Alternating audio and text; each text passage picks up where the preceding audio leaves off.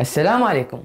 حياكم الله مشاهدينا الكرام في برنامجنا برنامج مكعبات رمضانية اليوم نحن وإياكم في ليلة من ليالي شهر رمضان المبارك. نستقبله بالتوكل على الله تبارك وتعالى وأنفاس محمد وآل محمد. نسأل الله تبارك وتعالى أن نوفق فيه لرضا الصديقة الشهيدة فاطمة الزهراء صلوات الله عليها. مشاهدينا الكرام فاصل ونعود إليكم. عدنا وإياكم مشاهدينا الكرام في برنامجنا برنامج مكعبات رمضانية. موضوع هذه الحلقة سيكون أيضا عن الاستثمار في شهر رمضان المبارك. رحبوا معي بضيفي هذه الحلقة. عباس حبيبي السلام عليكم. وعليكم السلام. شلونك حبيبي؟ زين. الحمد لله.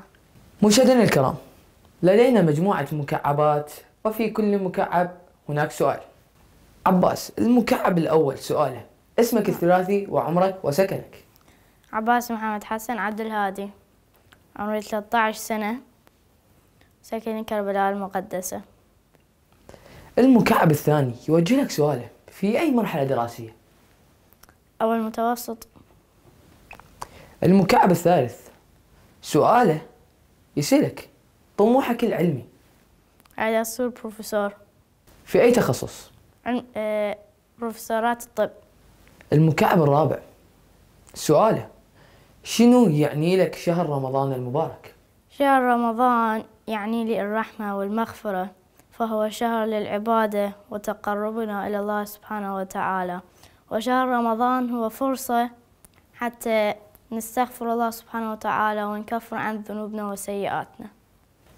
خليك يا حبيبي عباس. مشاهدينا الكرام فاصل ونعود إليكم. عدنا وإياكم مشاهدينا الكرام في برنامجنا برنامج مكعبات رمضانية.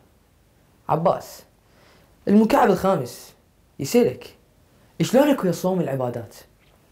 يعني هو صعب شوي بالبداية بس بعد من يستمر شوي يحاول يتعود عليه. المكعب السادس سؤاله شلون تقسم وقتك في شهر رمضان؟ يعني أقسم وقتي للعبادة وقت للدراسة وقت للراحة. مثلا الصبح أروح للمدرسة أرجع الظهر أصلي. وراها أساعد أمي وأبويا شوية أستراح. بعد يجي المغرب أصلي صلاة المغرب. ونفطر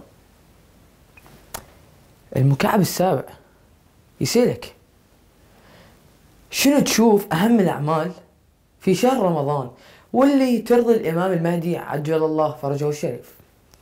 وواحد يكون قدوة بأخلاقه يساعد الناس بأخلاقه يساعد الفقراء يساعد أمه وأبوه وبالوالدين إحسانا.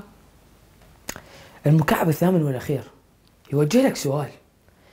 في أي عتبة أو مرقد تحب أنه آه، تفطر أو تتسحر وتسوي أعمال شهر رمضان. أنا بالنسبة لي كلهن أحبهن كل العتبات والمراقد بس أكثر شيء حرم الإمام الحسين عليه السلام. شكرا حبيبي.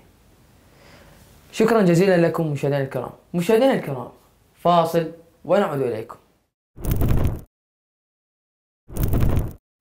عدنا وإياكم مشاهدينا الكرام في برنامجنا برنامج مكعبات رمضانية. حبينا أن نهديكم هدية ألا وهو حديث من أحاديث النبي محمد صلى الله عليه وآله وسلم. قال النبي الأكرم محمد صلى الله عليه وآله وسلم إن المؤمن همته في الصلاة والصيام والعبادة.